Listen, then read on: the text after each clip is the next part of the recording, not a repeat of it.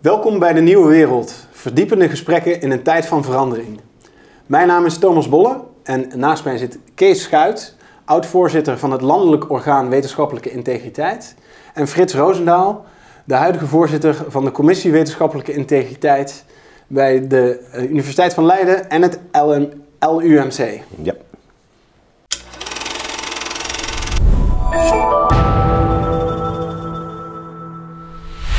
Goed, heren, welkom. We gaan het hebben over uh, wetenschappelijke integriteit. En het lijkt mij goed om te beginnen om even uit te leggen wat dat precies inhoudt en waarom het zo belangrijk is. Zou jij willen Ja, zeker. aftrappen, eh, Frits? Ehm, ja, het makkelijk is om te zeggen, wetenschappelijke integriteit is dat onderzoek eerlijk wordt uitgevoerd. Dus wetenschap gaat erom om, ja, je zou kunnen zeggen, de waarheid te, te ontdekken. Hoe zit het? En ehm, als daarin vals gespeeld wordt, dan, eh, dan heeft dat grote repercussies. Ik kom er gelijk bij waarom het belangrijk is. Dan, dan, dan wordt het bouwwerk van de wetenschap verstoord. En gaan ook volgende wetenschappers misschien de verkeerde kant uit. Eh, dus wetenschappelijke integriteit is, eh, is dat dat niet gebeurt. Vaak het makkelijkste integriteit te definiëren door niet-integer gedrag. Ja, dat zijn mensen die gegevens bedenken of ze vals analyseren of gegevens weglaten of die plagiaat plegen. Dat valt allemaal onder niet-integer handelen in de wetenschap. Ja. En wat zijn de hoofdzonden in, in dat eh, plaatje van dingen die je kunt doen waardoor je echt zegt van nou dit is echt niet integer? Want er, er is best wel wat gradatie. En je kunt een foutje maken en je kunt een grove fout maken en je kunt echt frauderen. Ja, dat, dat korten ze meestal af met eh, drie letters. eh, echt fraude, dus manipuleren met gegevens, fabuleren, gegevens verzinnen Ja. en plagiaat. Zelf heb ik er in mijn boek ook nog eh belangenverstrengeling als een van de grote belangrijke zaken als je daarmee in de fout gaat. Een kanttekening met die integriteit, dus als je daar, dat is eigenlijk de aanvulling van niet eerlijk zijn. Ja. Eh, eerlijkheid, waar, waarheidsgetrouwheid, dat hoort bij de wetenschap. Ook openheid van zaken geven. Eh, maar het is een specifieke vorm van integriteit, want niet alle mensen in de samenleving moeten diezelfde normen als de wetenschapsbeoefenaren hebben. Ik geef een voorbeeld van plagiaat en fabuleren. Als ik een boodschappenlijstje van mijn vrouw overschap, dan is het plagiaat, maar doet er niet toe. Nee. En een prachtige romanschrijver, die mag best fabuleren.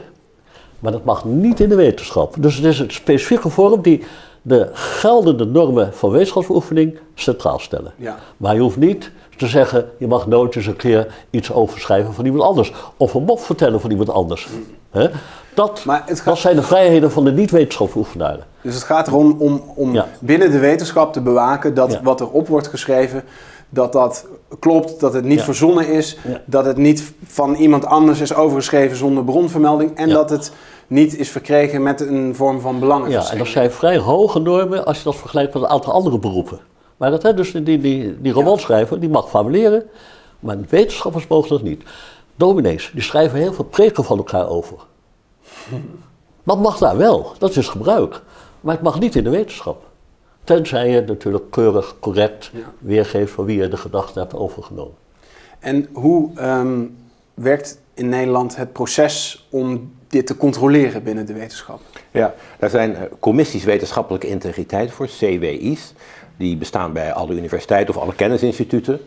En eh, dat zijn commissies die, die, daar kan een klacht worden ingediend, of soms kunnen ze ook zelf onderzoek doen. Wanneer er een vermoeden is dat eh, die integriteit geschonden is, dus dat iemand data bedacht heeft of eh, bevooroordeeld heeft weergegeven of plagiaat heeft gepleegd. En zo'n commissie onderzoekt dat. Dat kan soms wel een tijd duren. Dat, daar moeten de data misschien soms voor bekeken worden. Het hangt er een beetje vanaf welk wetenschapsgebied het is. Eh, kunnen deskundigen gehoord worden. Natuurlijk wordt degene die de klacht indient, en zeker de, degene te- tegen wie de klacht gericht is, die worden gehoord. En uiteindelijk eh, schrijft zo'n commissie, die uit meerdere mensen bestaat, een advies. Dat gaat naar het college van bestuur, of in het geval van het academisch ziekenhuis, de raad van bestuur. En ehm, die nemen dan een besluit. Eh, wat zo'n commissie in feite zegt is, kort gezegd, ja of nee, er was een inbreuk op de wetenschappelijke integriteit en vervolgens komt er een uitleg. Zo'n commissie geeft nooit eh, adviezen over de arbeidsrechtelijke consequenties. Dus de raad van bestuur of het college van bestuur, die besluit of er een berisping of een waarschuwing of een ontslag moet komen, daar gaan die commissies niet over. Ja.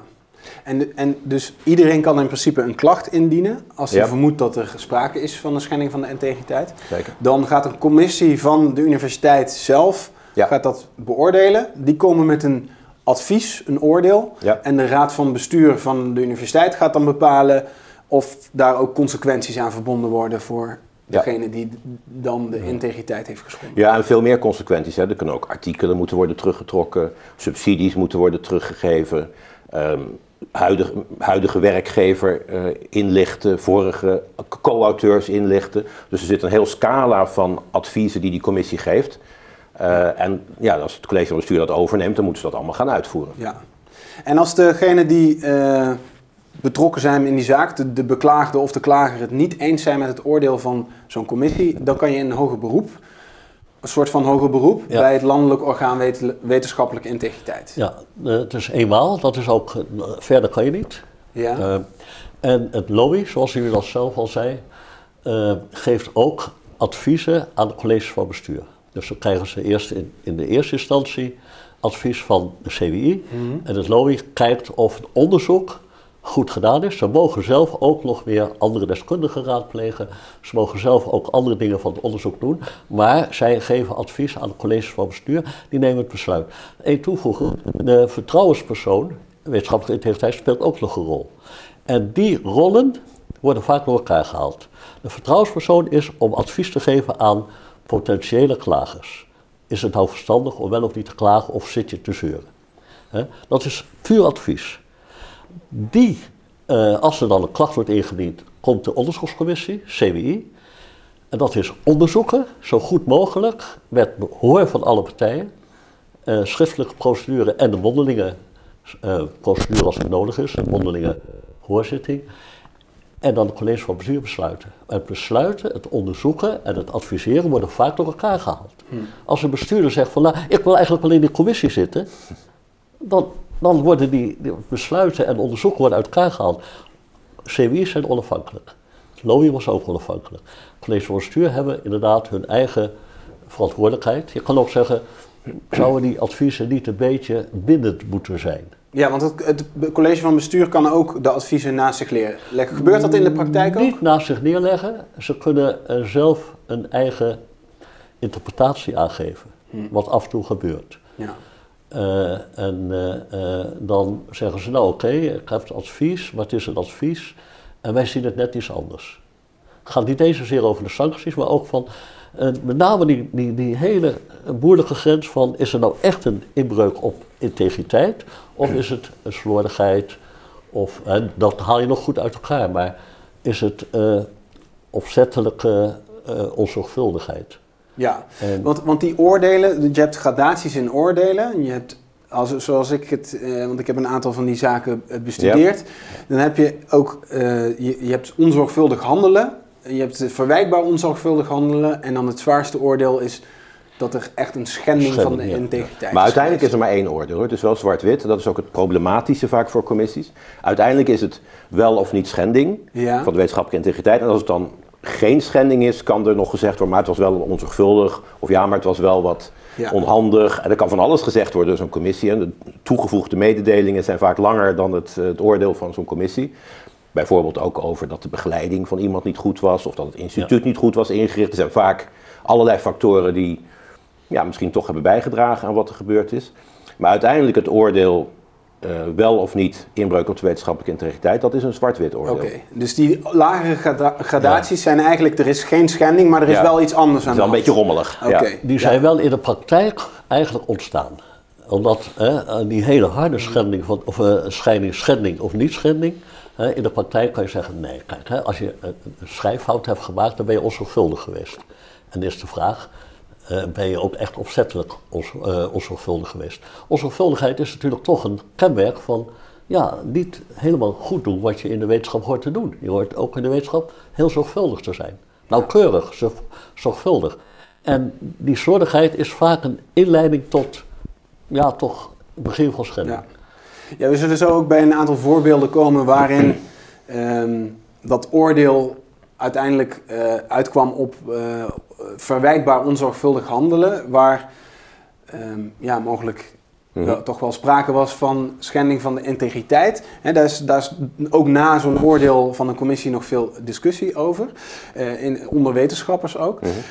Maar om dat nog even scherp te krijgen, hoe, hoe bepaal je nou ehm, of iets schending is? Is daar een wet voor die dat voorschrijft? Ja, er is geen wet, maar het heet een gedragscode. En die wordt elke paar jaar eh, vernieuwd. En daar staat in, nou dat wat Kees net al noemde, plagiaat en falsificatie en, en data bedenken. Maar er staan ook veel meer eh, normen in. Normen is eigenlijk een ander woord voor wet, zou je kunnen zeggen. Dus datgene wat eh, niet mag, of waar men zich aan moet houden. En zo'n commissie kijkt dan of dat gebeurt. Dus dat is nog helemaal niet zo makkelijk. Dus er ontstaat ook een vorm van, van, van jurisprudentie, van precedentwerking, dat gekeken wordt hoe hebben we dat nou vorige keer gedaan, hoe, heeft, hoe hebben andere commissies dat gedaan. En zo ontstaat er gaandeweg een, een, een bouwwerk waarin die commissies hun weg kunnen vinden wanneer het wel of niet een schending is. Waarbij wel gezegd moet worden dat eh, eh, alle schendingen van de wetenschappelijke integriteit zijn uniek. Eh, dus, dus voor een commissie altijd, soms is het makkelijk, hè, als data bedacht zijn is het vrij eenvoudig. Eh, de zaak Ja. Stapel was eigenlijk niet moeilijk. Hè? eh, Ehm, stapel, ja. Ja, maar met name bijvoorbeeld plagiaat is vaak heel moeilijk, want ja, vijf woorden kunnen plagiaat zijn. Het- Zes muziekmaten kunnen plagiaat zijn. Dus soms is het heel moeilijk. Dus het, het, het blijft altijd wel een weg zoeken voor zo'n commissie. En daarom duurt ieder van die onderzoeken ook vrij lang. Ook omdat er niet maximaal meegewerkt wordt altijd door alle partijen. Zo is het uit te drukken. En die ge- gedragscode, die definieert ook die onafhankelijke normen dan. Ja. Zijn die ook onafhankelijk? Is dat toetsbaar? Is dat... Eh, dat hangt af van de, de formulering van de normen. Het is dus een gedragscode, zoals andere beroepen ook een gedragscode hebben. Die gedragscode heeft natuurlijk wel een wettelijke grondslag. Het is, het is een soort van zelfregulering van de universiteiten. En van de wetenschapsbeoefenaren onderling. Die hebben dus zelf afgesproken, zo zijn, eh, het zo is onze beroepspraktijk. Eh, de besluiten van het college van bestuur hebben wel een wettelijke basis. Die zitten namelijk in de Algemene Wet Bestuursrecht. Dus uiteindelijk is het wel een juridisch kader. En die, zolang het goed gaat, is die zelfregulering natuurlijk aan te raden. Ja. Want eh, je, de, de echte wetenschapshoeflaren weten wat je dan wel en niet kunt doen. Ja. Ook statistisch wel of niet mag eh, toelaten. Eh, als je het helemaal zou doen buiten de wetenschapsbeoefening zelf, ja, dan zegt ze weer van, zelfs als eigenlijk te vergelijken met medisch tuchtrecht. Er zitten ook medici in en een paar onafhankelijke beoordelaars. En, en zo zie je het hele stelsel. Beroepscode is in, eh, de gedragscode is in 2018 vernieuwd. Het nieuwe daarvan, en dat vind ik echt eh, voor Nederland toch een eh, heel mooi beginsel, is dat de universiteitsbesturen of universiteiten hebben een, een zorgplicht om te zorgen voor een integer eh, onderzoeksklimaat. Ja. En daar zijn ze echt voor in. Eh, de formuleringen van de, beroeps, de gedragscode van 2018 eh, vind ik zelf iets te veel op aanbevelingen lijken. Hè, van doe dit, zo moet je het doen. En, en terwijl je, dat ben ik natuurlijk als jurist, als je een goede norm hebt, dan heb je iets meer houvast dan wanneer je moet oordelen over of iemand nou wel of niet voldoende, laten we zeggen, referenties gegeven heeft. Er staat in, die 68 artikelen staat één artikel van eh, de referentielijst, hè, de, de notenlijst mag niet te lang zijn. Ja, natuurlijk is dat een goede raad. Je moet niet te veel doen. Maar wat is nou te lang? Dus dat geeft een beetje. En de vorige code van 2014, die een paar keer is eh, veranderd, onder andere door eh, die stapelkwestie. Hè, toen zijn Ja. universiteiten nog weer wat strenger geworden. Die had iets meer strengheid in de formulering van de norm. En dat, dat was eh, die En zaak- de CWI's moeten daarmee werken. Dus Ja. die Ja. krijgen die zaken erop van, ja, eh, nou, ge- gelukkig gebeurt het niet dat iemand gaat zeggen van, ja, eh, dat is veel te lange eh, eh, eh, lijst van referenties. Nee, dat lijkt me ook een, een, een ondergeschikt onder, onderwerp. maar waarom staat het Ja, dan- maar het, is wel, het is wel een heel goed punt wat Kees op. We krijgen wel, doordat die codes zo, zo allesomvattende beleefdheidsaansporingen zijn bijna, krijgen we wel steeds meer klachten die naar ons gevoel niet altijd over wetenschappelijke integriteit gaan, maar ja, over een stukje wat de wetenschapper in de krant schreef, of een advies wat de wetenschapper gaf, of ruzie tussen mensen. En met vorige codes was het iets makkelijker om te zeggen, dit is ruzie, een stukje in de krant, een advies, daar gaan we niet over. Ja. En nu kost dat wat meer moeite om, om te vinden dat we daar niet over gaan. Ja, want het, het, het, het is juist belangrijk dat die zaken waar het wel om ernstige dingen gaat, Ja. waar bijvoorbeeld Ja. zo'n belangenverstrengeling speelt of waar echt eh, Mhm. plagiaat is gepleegd, dat Mhm. daar eh, wel dan Ja. wordt een, een, een veroordeling of een, een, constatering van die schending van integriteit eh, plaatsvindt. Ja. Als, ik, als ik hoor zelfregulering, dan gaan er bij mij wel meteen ook een aantal eh, alarmbellen rinkelen. Want dat is, een- dat is in het bedrijfsleven natuurlijk een eh, praktijk die veel voorkomt. Banken reguleren ook het liefste zichzelf. En Ja. eh, eh, Ja. grote bedrijven eh, zeggen altijd van wij zijn in staat om dat goed onderling te regelen. En dan in de praktijk ehm, blijkt dat toch niet zo makkelijk. Hoe, hoe zit dat op de universiteiten? Zijn universiteiten wel in staat om eh, echt elkaar eh, onafhankelijk te beoordelen? Dan, geen enkel systeem gaat altijd goed. Laten we dat voorop stellen. Hoe je iets ook regelt, het gaat niet altijd goed.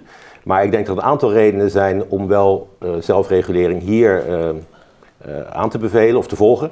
Eén is dat ehm, in sommige gevallen waar het woord zelfregulering gebruikt wordt, is het eigenlijk een, een codewoord voor laten we niks doen. En daar is ook het belang anders. Bij banken is het belang geld verdienen. In de wetenschap is het belang de waarheid ontdekken. En ik denk niet dat iemand in die universiteit het belang heeft dat die waarheid niet ontdekt wordt. Dus men, er is geen, bij de andere wetenschappers geen reden om dat onder de, onder de mat te schuiven. Integendeel, er is boosheid. Eh, en men wil dat onderzoeken. Dus ik denk dat, eh, dat dat wel goed gaat over het algemeen. Dat het een goed systeem is. Ook omdat de expertise cruciaal is. Het is, het is vrij moeilijk om, als er een klacht komt over dat met bepaalde data. We zijn dus één klacht zijn we een jaar mee bezig geweest om alle datasets te controleren en eh, statistisch te bekijken. Ja, dat, dat is nogal ingewikkeld. En ik ben bang dat je daar ook niet makkelijk eh, vrijwilligers van buiten voor krijgt. Dus dat is corvée wat we dan erbij doen, zeg maar.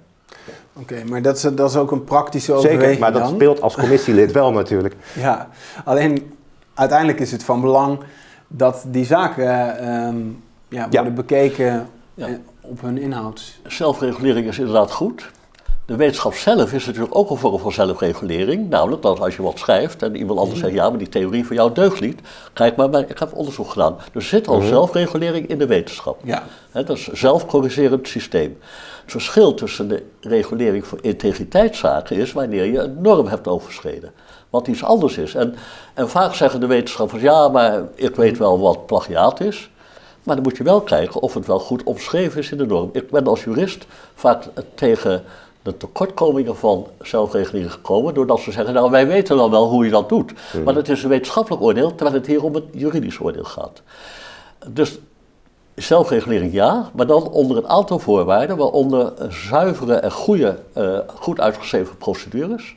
Dus ja, nou, hoor en wederhoor natuurlijk, dat is voor spreekt vanzelf. Maar ook, niemand mag rechter zijn in eigen zaak. Dus die bestuurders moeten juist afblijven van het onderzoek. Ja. Als een bestuurder die besluit moet nemen over arbeidsrechtelijke consequenties, die moet hij niet in die commissie zitten. In het begin hebben wij dat gehad. Was er een, heel lang geleden, al 2006, een plagiaatzaak, dat zegt niet waar, waarin dan een commissie werd hè, door iemand die had een proefschrift van de ander voor twee derde bijna overgeschreven. En toen werd de commissie ingesteld, de promotor, de decaan en de rechter magnificus. Ja, dat kwam bij het LOI. En toen zeiden we, Ja, dat kan niet. hou nu op met de verstrengeling van dit soort dingen. Ja. Hè, en, en dat is weer een juridische common sense, zou ik zeggen. Eh, terwijl die zelfregulering, eh, eh, wetenschappers zijn gewend om elkaar kritiek te leveren. Kritiek hoort bij de wetenschap.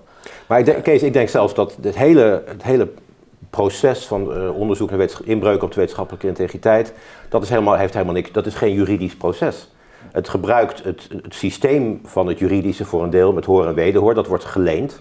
Maar op zich is het geen juridisch proces. Het zou ook door, als men maar besef heeft van hoe je zaken goed moet doen en netjes moet doen, hoeft dat niet per se door juristen te gebeuren. Het is, nee, het is, het is een zeg ook in mijn proces van de wetenschap. Niet per se door juristen, maar het moet wel een juridische begeleiding hebben die Zeker. vrij streng, streng is. Die, eh, en, en, en juristen weten soms iets beter wat, wat je niet moet doen. Ja, nee, het is zeker. natuurlijk wel een juridisch proces, omdat het eindigt in een eh, besluit van het college van bestuur. Dat deel is juridisch, is maar het onderzoek van die commissie. En Ja, maar- eh, ik denk ook plagiaat wisten we echt al lang wat het was voordat er Ja, een gedragscode de, bestond. ah, de inhoud van Ja. de normen, die zijn zo oud als... Nou, Ja, niet zo oud niet als allemaal, maar, maar... maar wel oud. ja, nee, de echte verbod op plagiaat Ja. is van in 1915 eigenlijk. eh, dus dat is eigenlijk... Daarvoor werd er niet zo... Ja, men wist wel dat men elkaar overschreef. En dat werd gesmuikt, hè, dat roddel en een Ja. achterklap. Ja. Maar nu is er een goede procedure. En dat vind ik wel een heel groot voordeel. Ja. En als je nu, want je hebt negen, negen jaar ben je voorzitter geweest van het lobby. Ja. Wat zijn nou, waar gaat het het, het, het vaakst fout in bijvoorbeeld de beoordeling van zo'n commissie wetenschappelijke integriteit van de universiteit zelf? Want je hebt ook een boek geschreven met een aantal aanbevelingen eh, Ja. op dat punt. Ehm, het gaat tegenwoordig eigenlijk wel best goed. Het gaat fout als die rollen worden verwisseld. Hè, dan ga je formele fouten maken. En als je dan veroordeeld wordt of je, je klacht wordt niet eh eh, gehonoreerd, ja, dan ga je zeggen, ja, maar die procedure is niet goed. Dus allereerst is een voorwaarde voor goede zelfregulering dat je de formele procedures goed volgt. Daar heb je toch een beetje juridische begeleiding voor nodig.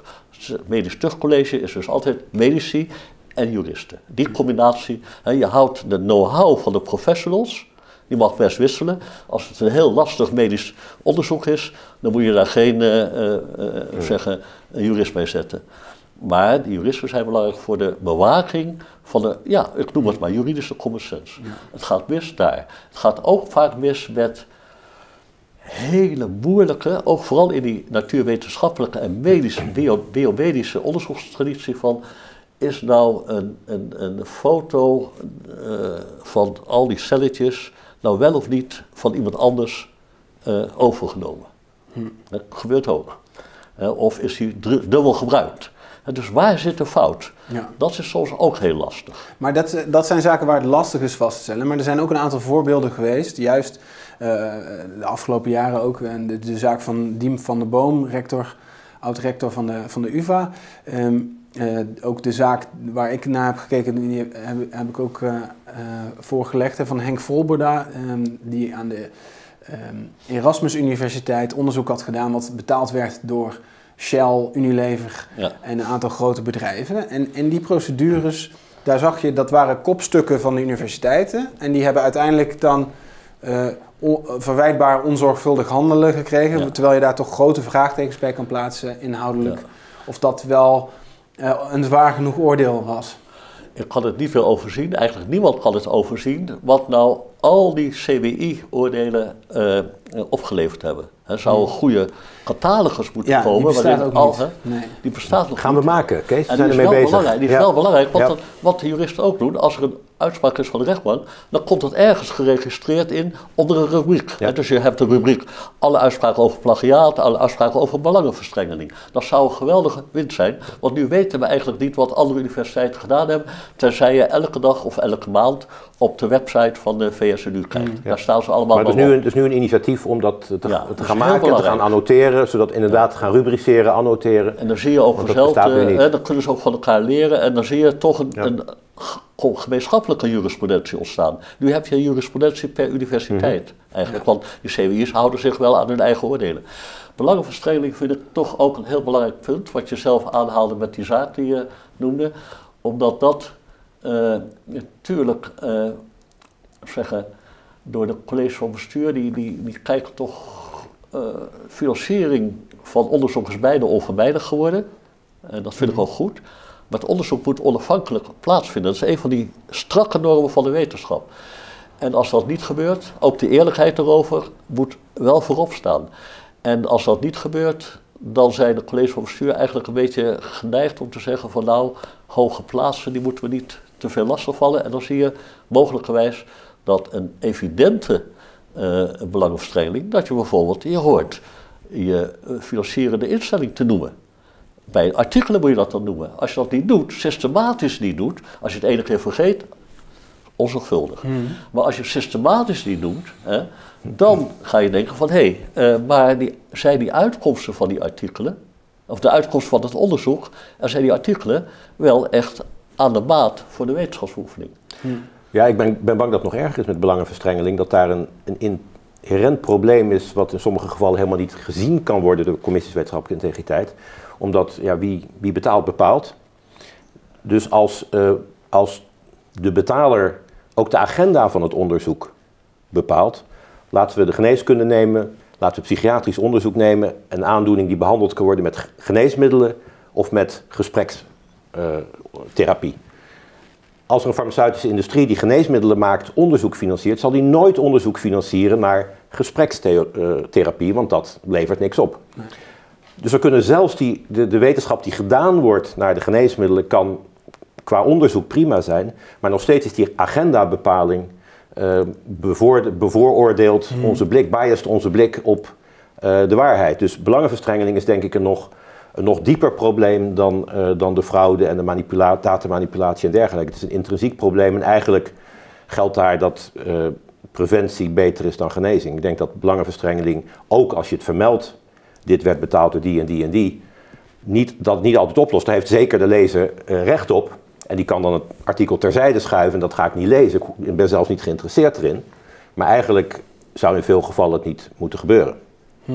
En wat kunnen we daaraan doen? Want je, daarin zie je juist dat universiteiten steeds afhankelijker worden van ja. financiering van derden, dus commerciële partijen. Ja. En uh, daar zijn ook de, ja, nou de, alleen al de afgelopen weken uh, weer wat zaken naar buiten gekomen. In de VU werd het, het Mensenrechteninstituut wordt gefinancierd door de Chinese overheid. Uh, we hebben in, bij de UvA op de rechtenfaculteit dat een aantal Zuidas-kantoren en, en Ernst Young de leerstoel van hoogleraar Smit financieren. Um, en ook daar dan de benoeming van zo'n hoogleraar daar invloed op hebben. Ja, ik denk dat het allemaal voorbeelden zijn waar het niet uitmaakt of die artikelen die geschreven worden vervolgens keurige data gebruiken. Ik denk dat dat voorbeelden zijn van zaken die niet moeten gebeuren. Die belangenverstrengeling moet niet bestaan, want die is voorwaarde scheppend voor vertekening van de wetenschap. Dus waarom zou je dat doen? En dan, ja, het is vervelend dat me dan geld tekort komt. Dat ligt aan vele jaren uh, politiek, zeg maar, politieke besluiten. Maar ik denk dat uh, daar liever minder wetenschap dan vertekende wetenschap. Dus daar is de huidige inrichting met commissies wetenschappelijke integriteit, dat is niet uh, het gremium waarmee je dat kan oplossen? Nee, dat begint aan het begin, bij het aanstellen van die mensen. Dat, dat vind ik een belangrijke kwestie van wetenschapsbeleid, ook van universitair beleid. Hè. Hoeveel laten wij door uh, de, de, tweede of de derde geldstroomfinanciering, vooral de derde, of de vierde en de vijfde. Hè.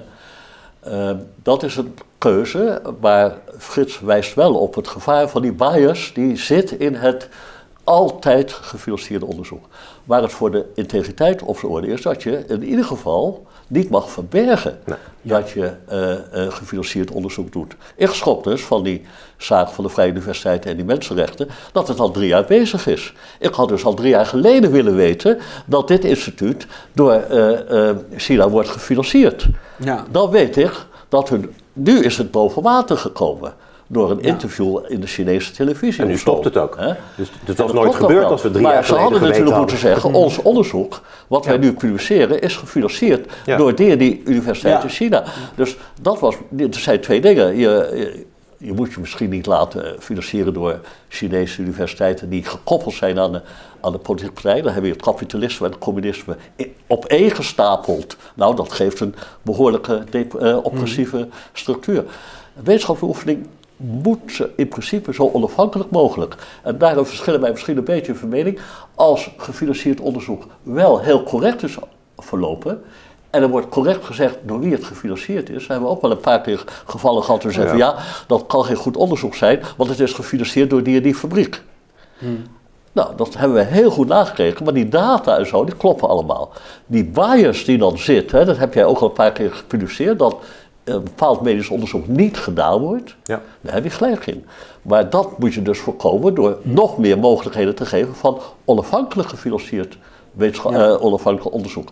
Maar als je dus onderzoek doet met uh, gelden van de derde, uh, dan moet je dat vind ik, overal altijd te kennen geven. En dat was geloof ik in die zaak die, jij die, jij behandeld hebt, niet het geval. Nee, die zaak van Henk Volberda was, was, daar was niet duidelijk dat die bedrijven ook de financiers en, en officiële opdrachtgevers waren. Die stonden niet op het rapport eh, in die hoedanigheid vermeld. Ja. Maar ik denk dat ik het met Kees eens ben. Ik zal zeker niet zeggen dat nooit geld door een private partij, uh, onderzoek door een private mhm. partij gefinancierd mag worden. Maar eigenlijk kan het alleen als die private partij niet van tevoren al weet wat ze willen dat er uit dat onderzoek komt. Als dat gebeurt, dan moet je er niet aan beginnen. Als het een wederzijdse belangstelling is hoe de genetica van een fruitvliegje zit, dan is dat echt geen enkel probleem. Dat kan misschien op den duur tot geneesmiddelen leiden. Dat is prima. Ja. Ja, maar maar kan- bij, bij, die, bij die zaak Volboeda bijvoorbeeld, hè, daar, daar stond al in de opdrachtbrief dat er politiek advies zou uitkomen om het bela- belastingklimaat en, Ja. of het vestigingsklimaat eh, positief te beïnvloeden. En die, die Ja. bedrijven kregen dus, waren ook nog onderdeel van de dataverzameling, want zij vulden ook vervolgens de questionnaires Ja, ik vind in. dat de universiteit zich daar prostitueert. Die gebruikt, laat zichzelf als lobbymachine voor, voor grote bedrijven gebruiken. Ik denk dat dat niet moet. Dus dat is van tevoren overduidelijk dat dat niet kan. En dat heeft niet eens zoveel met... Ja, dat is wetenschappelijke integriteit al in het begin. Dat is... Dat, dat- Ja. Maar hoe Kan het dan dat, dat zo'n Volboda niet... Die heeft uiteindelijk dan onzor, onzorgvuldig, verwijtbaar onzorgvuldig handelen eh, als oordeel geoogst. Terwijl daar waren, waren wel hele duidelijke bewijzen. Hoe is, waarom is dan een, een CWI en een LOI niet in staat om daar tot, tot een harder oordeel te komen? Ja, dan moet je de zaak kennen, daar kan ik niks Ja. over zeggen. Eh, eh, ik vind dat hij wel van begin af aan had moeten zeggen: dit onderzoek wordt gedaan in opdracht van. Dat moet ook in het rapport van dat onderzoek vermeld worden. Als het niet vermeld wordt, is dat een schending van de norm. De vraag is alleen hoe zwaar die schending van deze norm is. Maar ik vind dat hoort echt wel bij die onafhankelijkheid en eerlijkheid van de wetenschap. Als dat later pas boven water komt. Ja, dat is net als met dat nu boven water komt dat die eh VU-faculteit of dat centrum wordt gefinancierd. Dat is te laat. Ja.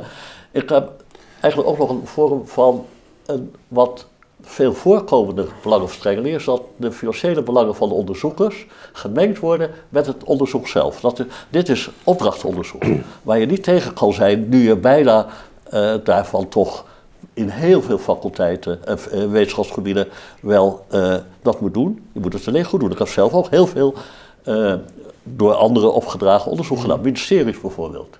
Hè.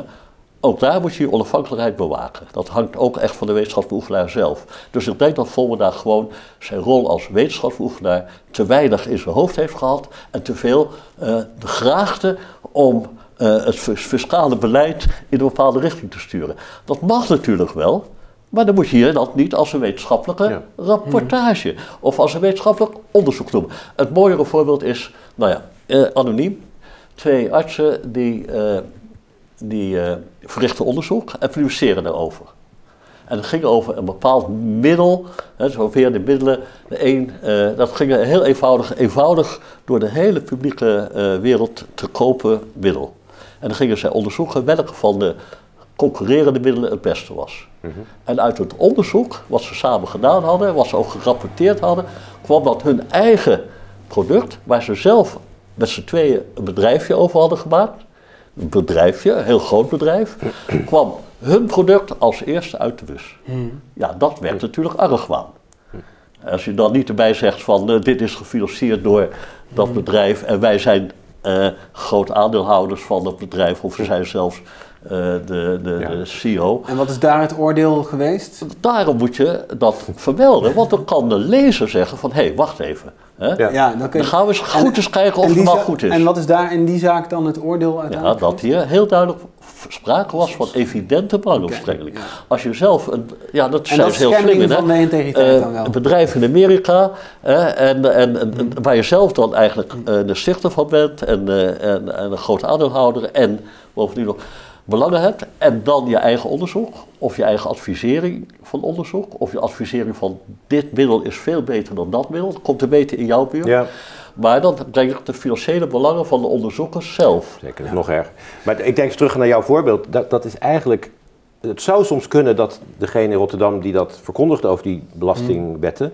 Dat zelf ook gelooft. En dat geeft precies die agenda aan. ja, dat Iemand die, vestigingsklimaat, Ja. dat is helemaal ook... dat zal hij vast helemaal Ja, vinden. ja. Maar degene die een, een heel andere visie heeft, die wordt niet eh, gefinancierd. Nee. Dus dat is die agendabepaling die dus al aan de kern, aan de basis, het, eigenlijk het wetenschappelijk debat frustreert, wat daardoor ophoudt. Ja, ja, precies. Maar het huidige proces daar is dan ook... Hè, wat, wat ik bijvoorbeeld opmerkelijk vond, is dat daar liep de integriteitsprocedure. En eh, tijdens die procedure, want toen dacht Volboda's positie bij, binnen de Erasmus was, ja, die was aardig op spanning eh, komen te staan. En toen heeft de, de UvA hem gewoon een, een nieuwe leer- leerstoel aangeboden. En heeft hij eigenlijk zijn, zijn, zijn eh, ja, facul- zijnzelfde soort faculteit heeft hij kunnen oprichten bij de UvA. Want dat is namelijk, hij heeft connecties met het bedrijfsleven, kan daar ook weer. Ja. Dus, dus dan zie je dat die geldstromen niet alleen eh, op de ene plek tot, tot een, een, een, rare situatie leiden, maar dat vervolgens een andere universiteit ook gewoon eh, tijdens zo'n lopend onderzoek al zegt van nou Ja. kom dan maar bij ons. Eh, Daar hebben we ook een ander voorbeeld van, oude voorbeeld. Iemand mag, mag was- dat, maar mag dat zo? Maar Moet, moet Maar ja, je de daar vraag niet is of ze het als- wisten eigenlijk, dat is vraag 1. Dat is wel een probleem als procedures lang duren. En mensen zien aankomen, dat heb ik ook wel meegemaakt, mensen zien aankomen dat het, dat het misschien de verkeerde kant uit gaat. Soms is het tamelijk evident, maar het moet toch goed uitgezocht worden, dus het duurt een tijdje. Ja. Dat ze in die tijd een andere functie kiezen. En eh, dan is het wel heel moeilijk om toch te doen wat je moet doen. Dat je die vertrouwelijkheid moet bewaren. Dat je niet die andere universiteit kan waarschuwen van begin daar niet aan. Eh, maar dat is, ja, een kat in het nauw maakt rare sprongen. Nou, Dat gebeurt af en toe. Ik, ik, ik, ik zou zo'n voorbeeld willen zien als dat toch de integriteit als hoofdthema in de hoofden van de colleges van bestuursleden niet heel groot is. Een ander voorbeeld wat ik gaf, iemand was ook door het LOI veroordeeld voor plagiaat. En dat werd ook gepubliceerd, hè, dat was dus ook het geval. En er zou een sanctie komen van de ene universiteit. En toen ging de andere universiteit toch die persoon als hoogleraar benoemen. Ja, Wetende dat ze plagiaat gepleegd Ja, dat is ja, dat is onbegrijpelijk. En dat is onbegrijpelijk. En toen dacht ik, ja, daar zit die rare concurrentiestrijd tussen universiteiten. En wij moeten het altijd de beste hebben. Als, we, als je dat gelooft, zijn we, zitten we allemaal in de top drie van de eredivisie. Alle instituten zijn top, top, top. Logischerwijs kan dat natuurlijk niet. Nee. Hè? ja. Eh, en die concurrentie zit toch ook een beetje, concurrentiegedachte, zit toch eigenlijk een beetje eh, te beuken op de in de wetenschap toch een heel belangrijke vorm van samenwerking. Ja. Je krijgt geen wetenschaponderzoek meer van niveau als je niet kan samenwerken met andere wetenschapsbeoefenaren. Ik denk wel, eh, toch goed te zeggen, dit, dit spanningsveld bestaan, al deze dingen gebeuren. Maar ik heb ze allemaal niet meegemaakt. Ik heb niet meegemaakt dat bij mijn onderzoek een andere universiteit, terwijl wij een onderzoek deden, iemand een andere universiteit die wel het wist, iemand de baan gaf. Integendeel, die werd ergens anders ook ontslagen toen ze het hoorden. Eh, ik heb niet meegemaakt dat mijn raad van bestuur, of ons college van bestuur van de universiteit, ons advies niet heeft opgevolgd. Doet ook al bijna tien jaar. Dus ik denk dat het zijn uitzonderingen die besproken moeten worden, die vervelend zijn, waar we wat aan moeten doen. Ehm, ik, en ik denk dat het probleem veel meer zit in eh, dat aannamebeleid en inderdaad, eh, anders kunnen we het onderzoek niet doen, wat natuurlijk niet elke misstand rechtvaardigt. Als je iets niet kan doen, dat je het dan maar op een verkeerde manier moet doen. Ik denk dat daar veel meer het probleem zit dan in eh, inbreuk op de wetenschappelijke integriteit en in de, het onderzoek daarnaar. Maar ik, ja, je, zegt, je zegt eigenlijk, dit zijn incidenten. Ik vind het wel veel incidenten. En ik zou ook wel tegen, tegenin willen brengen Mhm. van... Het, als je een klimaat hebt waarbij dus dit soort zaken ook voorkomen... waarbij kopstukken toch eh, enigszins de hand boven het hoofd worden gehouden door... Maar daar ben ik het helemaal niet mee eens dat dat zo is. Want wij krijgen per jaar, on- we krijgen heel veel klachten, maar een deel daarvan eh, zijn onzinnig. Dat Einstein ongelijk Mhm. had, hebben we een keer gehad. Dat hebben we toch niet helemaal bekeken meer. Ehm, maar per jaar onderzoeken we vier, vijf klachten serieus. Dan denk ik het iets minder dan de helft eh, zeggen we inderdaad dat er een schending was. Iets meer dan de helft dat niet zo was. En dat zijn over het algemeen geen houten methoden. En die komen ook niet in het nieuws. Eh, dus je zou ook, en ik geloof niet dat we die mensen ehm, harder behandelen dan de mensen hoog in de boom. Eh, sterker nog, een van de zaken die je noemde, een proefschrift uit 1988, wat van mevrouw van der Boom was, had ik in Leiden niet onderzocht. Had ik gezegd, dat is meer dan tien jaar geleden, er zijn geen mensen meer die het meegemaakt hebben, gaan we niet doen, dat is archeologie. En dat was ook niet in de krant gekomen als het mijn proefschrift in 89 betroffen had. Dus ik, ik bestrijd de stelling dat, dat gaat- het strijk en zet is dat hoger geplaatste mensen Maar, vriendelijker de- behandeld maar worden. ver- verjaring is natuurlijk dan, nou het is lang geleden, maar je hebt een rector aan een universiteit die het voorbeeld voor alle studenten is. Als een student datzelfde nu zou doen, dan, dan vliegt hij eruit. En, en de rector die, die, die krijgt, eh, nou, Nou, daar zit weer achter. Want ze werd niet echt in eerste instantie voor plagiaat gedaan. Eerst was er kritiek van eh, een aantal mensen aan de Erasmus Universiteit, waar zij interim bestuurder was, voor een advies wat ze had gegeven voor de samenvoeging tot twee faculteiten. Daar was men het mee eens. En in het rapport wat ze aan het college van bestuur had gegeven van, nou, het is goed dat die twee faculteiten, had ze een passage opgenomen waarvan ze zeiden dat is plagiaat. Bleek niet plagiaat te zijn, want het was een passage waarin van een officieel internationaal stuk mocht je zonder meer gebruik van maken. Toen zijn ze gaan zoeken naar waar heeft ze dan wel plagiaat gepleegd. Toen kwamen ze bij het proefschrift uit. Maar dat was heel raar, want je kan niet met de normen van 2019 of 2018 een proefschrift uit 1988 gaan uh, beoordelen. En bovendien, dat heb ik zelf ook echt heel goed bekeken, uh, zaten er allemaal verwijzingen bij. Vol verwijzingen. Het was dus helemaal geen plagiaat, maar die verwijzingen stonden niet tussen aanhalingstekens. Ja, dat noem ik plagiaat, uh, Kees. Ja, dat wordt volgens de huidige normen. Maar, ja, maar plagiaat in 1780 waren er in Duitsland al plakaten op de muur van apothekers die plagiaat gepleegd hebben. Het feit dat het niet in een norm staat, betekent niet dat het niet bestond. En ik denk als een commissie zegt, er werden af en toe zinnen, soms hele alinea, enkele alinea's en soms meer dan enkele alinea's letterlijk overgeschreven. Dan is de vraag of dat in strijd met de wetenschappelijke integriteit, wat zo lang geleden is en diasredens waren. Mhm. Maar ik denk dat, dat ik me voor kan stellen dat dat wel plagiaat is. Ja, als je, als je zo 20 bladzijden uh, of 20 regels, dan is dat zonder aanhalingstekens is dat tegenwoordig plagiaat. De vraag was, was het toen ook plagiaat? Ja, zeker. Ik ben gepromoveerd in 1989 en ik weet zeker dat ik dat mijn promotor dat niet een goed idee vond als ik, ik dat zou doen. Ik ben gepromoveerd nog een keer 50 jaar, 50 jaar geleden. Los van en ik wist ook precies, ja, in, mijn eerste jaar heb ik, in mijn eerste jaar van de studie hier in Leiden heb ik al geleerd hoe je moet uh, citeren. Ja. ja. Um, maar goed, maar uh, Kees, dus, uiteindelijk, kijk, wat nou precies met die zaak was, dat, hè, dus je krijgt al discussie over de details, stond het toen wel in de code of niet. Maar uiteindelijk, ga, er zijn een aantal voorbeelden in Nederland waar, waarbij hoog, hooggeplaatste wetenschappers um, met, met uh, verwijtbaar onzorgvuldig handelen um, zijn ja, niet veroordeeld, maar die hebben de, ja, dat, dat uh, die vinden dat ook oordeel gekregen. Verwijtbaar onzorgvuldig is ook al ernstig, maar mhm. het heeft geen arbeidsrechtelijke consequenties. Daar zit het verschil in. Ja. Bij uh, schending van uh, integriteit heeft het college van bestuur een aantal mogelijkheden om ook sancties te, echt toe te passen, zoals schorsing of ontslag. En zie je, zie je ook dat, dat er dus soms dat, omdat, omdat er ook reputatie van de universiteiten speelt natuurlijk mee. Ook, hè? In mijn boek ook. De verantwoordelijkheid van de college van bestuur is weer net iets anders dan de, eh, de verantwoordelijkheid van uh, een commissie die onderzoekt van dit en dit is geval. Ja. Ook een, een werk, ze is ook werkgever, hè? het college van bestuur moet dus ook rekening houden met de arbeidsrechtelijke aspecten van de zaak. Dan kan een, een, ook een LOI of een CWI kan dat nooit helemaal mag het ook niet doen, vind ik. Dus daar zit een ruimte die geschapen is.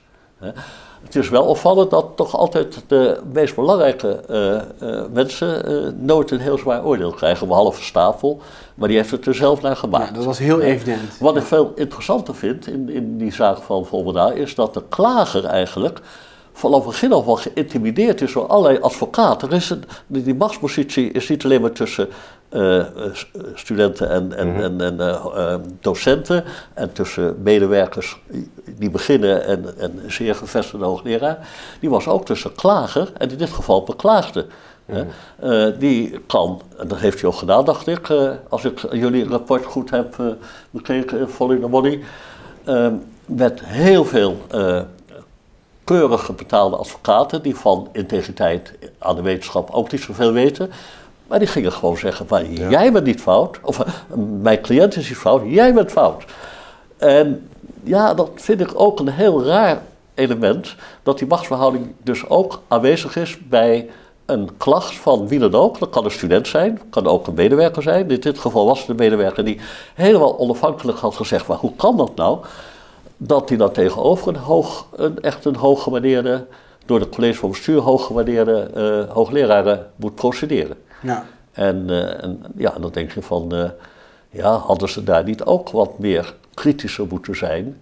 Hè? Ik vind dus vooral dat, dat de zaak niet kritisch genoeg is beoordeeld door het college van bestuur na twee rapporten van twee CWI's. Hm. Ja. En hoe, hoe, beschermen we dat, uh, dat die machtsverhoudingen niet scheef raken? Dat die klagers ook zich vrij voelen om naar voren te treden. Nou, daar zijn vertrouwenspersonen, die helemaal in het begin genoemd werden, heel belangrijk, die de, mhm. de klager bijstaan. Ik weet dat de Universiteit van Twente heeft zelfs ook vertrouwenspersonen voor de beklaagde. Lijkt me ook verstandig dat die ook te horen krijgen dat ze wel moeten komen en, en, en, en een verweerschrift moeten maken. Soms, dit emotioneert altijd iedereen. Ik heb de meest stoere professors uit de media in tranen zien uitbarsten bij ons. Want het is ook bij een klacht die niet terecht is, is het ook heel vervelend. Ehm, en dat heb jij ook meegemaakt. Het is altijd emotionerend, het is altijd erg. Dus die, die vertrouwenspersonen spelen daar een belangrijke rol.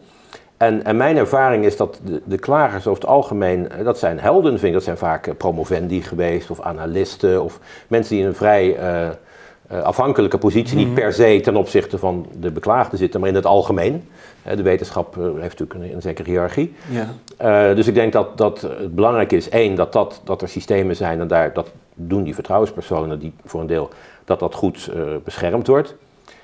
daarnaast, ja, besturen moeten een beetje moed hebben. En kijk, het is natuurlijk vervelend. Hè? We hebben vijf jaar gewerkt om drie artikelen teruggetrokken te krijgen, te krijgen. Dat was omdat het tijdschrift het niet wilde. Dus het, het is namelijk vervelend voor het tijdschrift, want je gaat af. Het is vervelend voor het instituut, want je hebt, komt weer in de krant. Het is vervelend natuurlijk voor de, de beklaagden, dus voor iedereen vervelend. En besturen moeten beseffen dat het is vervelend, en die tijdschriftredacteur ook. Maar nog erger is het door laten gaan. Nog erger is als het na drie jaar ontdekt wordt of na vijf jaar. Maar deze, deze belangen, hè, dus dat eigenlijk al die partijen, die zijn geneigd van... We, het is voor onze reputatie beter als er niet zo'n zo'n zaak echt mhm. eh, naar voren komt, in de media uh, naar buiten komt. Bijvoorbeeld met dat, nu met die mensenrechten in de Chinese overheid. Ik weet zeker dat de VU daar niet per se om, om, om staat te springen.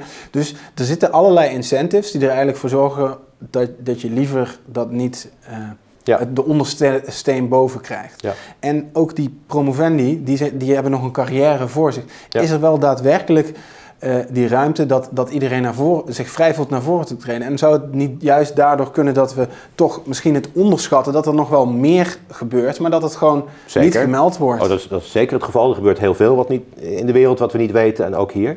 Ik denk dat er wel een aantal mogelijkheden zijn om dat te verbeteren. Ten eerste zouden, als je vergelijkt in mijn vak uh, geneeskunde, zou je het kunnen vergelijken met medisch-ethische toetsingscommissies. Die zijn mhm. onafhankelijk van de Raad van Bestuur.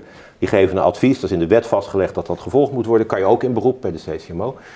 Dus je zou de onafhankelijkheid kunnen verhogen. En ik denk dat je die, die adviezen openbaar zou kunnen maken.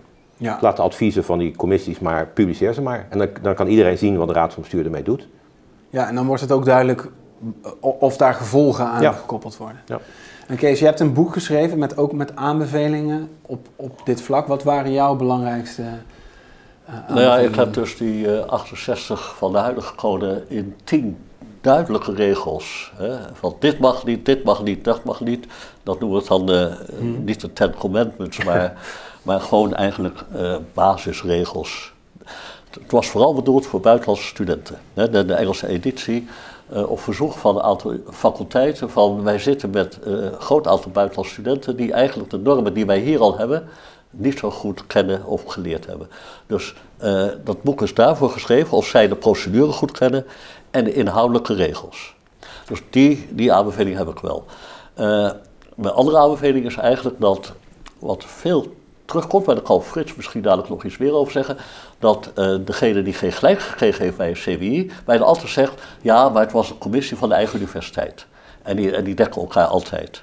Uh, daarvoor heb ik al bij mijn afscheid bij het OI gezegd, zouden dan niet universiteiten, uh, drie of vier universiteiten, laten we zeggen de drie, vier noordelijke universiteiten en, en, en uh, Brabant en Limburg. Vier universiteiten hebben één commissie die samengesteld is uit leden van al die vier universiteiten. En als het in de universiteit A gebeurt, neem je mensen van universiteit B. De, dat zou je kunnen doen. Ja, dat die scheiding der om, machten. Ja, omdat toch, uh, altijd, om toch altijd wordt, ze geloven het niet, omdat het van de, zijn mensen van de eigen universiteit. Ik weet niet of dat zwaar weegt, want je hoeft helemaal niet uh, minder onafhankelijk te zijn. Hè? Ja. Maar, uh, maar het gaat ook om de schijn natuurlijk van belang. Want, ja. want je ziet ook uh, de gedragscode, de mensen die die hebben opgesteld, zijn ook weer de mensen die zetelen in die commissies. Ja, dat weet bijna niemand wie de gedragscode heeft opgesteld. Maar als jurist valt het mij op, laat ik het zo gewoon zeggen, dat degene die dus die, die, die code heeft, hebben gemaakt, dat die ook elke keer weer bij commissies terugkeren, als, vooral ad hoc commissies, als college van bestuur in, in, in nood, uh, nood zitten. Ja. Uh, En dan gaan ze hun eigen normen uh, toetsen. Dat is eigenlijk geen scheiding van Ja. machten. Dat was Eh, bij de zaak dus- van Volberda was het toevallig ook To- Ton Hol en, en Bouter, die zaten in die twee commissies, terwijl die ook mee hebben geschreven aan de code. Nou, er is nog iets anders. Het, is het, het juridische argument van de scheiding der machten, waar ik het helemaal mee eens ben. Het is ook eh, een, een wettenschrijver, is niet per se een rechter. Hè? Dat zijn twee Ja. verschillende beroepen. Nee, moet je Zo'n die commissie is een ander die beroep. zitten nu wel door elkaar. In Maar ja, Nederland. af en toe bij ad hoc commissies inderdaad. Ehm, ik, ik denk als je dat van die andere universiteiten is een intrigerend plan. Ik zie praktische problemen. Maar ik denk ook wel dat binnen de universiteit dat niet zo gauw gedacht wordt. Want die staan, bestaan uit heel veel faculteiten. Waarvan eh, ik denk dat er, sommige mensen de ene faculteit weten niet eens dat er een faculteit van archeologie is of van, van wat dan ook. Ehm, dus ik denk dat de schijn, als die er is, daar, daar moet misschien wat aan gedaan worden. Maar eh, op zich is het, is het denk ik geen probleem. Het probleem zit eerder bij, eh, inderdaad, wat ik wat eerder noemde, het aanstellingsbeleid, de college of raden van bestuur die te weinig moed hebben. En dat mensen niet genoeg begeleid worden die een klacht Ja. zouden kunnen indienen. En is er met je aanbeveling van het boek ook iets gedaan, weet je dat? Nee, eh, wat ik merk is dat eh, studenten het veel online lezen.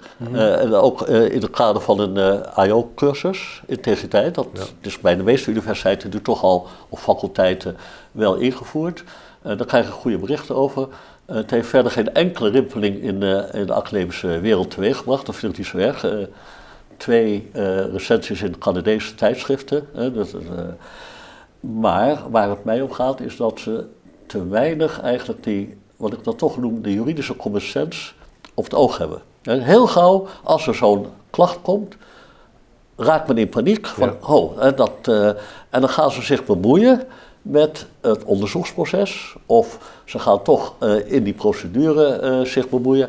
En ja, dan, ver- ja, dan, dan, dan eh, maak je het juist, de procedure maak je juist eh, eh, heel erg onzuiver. Ja, En, Maar ik denk dat het geen juridisch, ik, eerlijk gezegd denk ik, die juridische common sense, die is namelijk algemene common sense. Het is het gebrek aan moed.